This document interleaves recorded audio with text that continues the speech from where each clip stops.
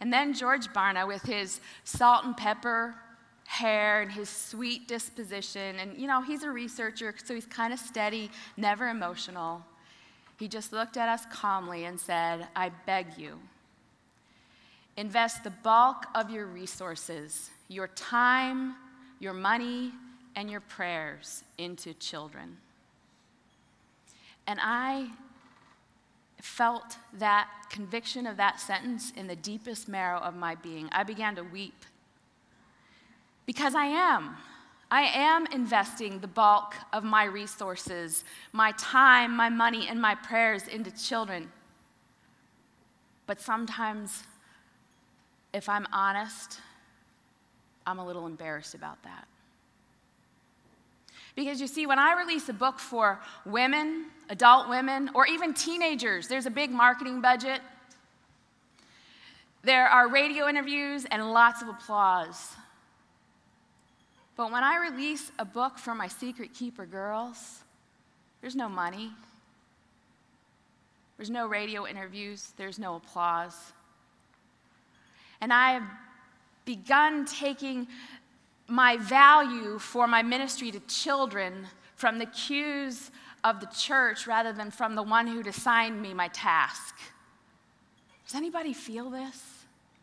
Do you feel that sometimes? That, that, that, that, the budget for children just isn't big enough. The budget for family just isn't big enough. The, the applause for the work that you're doing is just kind of really not there. I mean, please don't tell me that I'm up here spilling my guts today and nobody feels this.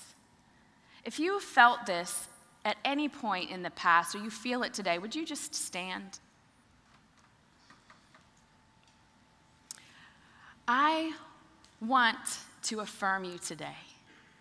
Not my face. I want you to see dear George Barna, because he's not going to like this, but there's more salt than pepper in his hair. And he's got more wisdom more authority than I carry. And He affirms you. But more importantly, I believe that your God affirms you. And I want to pray over you. Would you just bow your heads? And if you're around one of them, would you just reach out and touch them, encourage them? Father God, I thank you that you have assigned us to the littlest of hearts in your kingdom.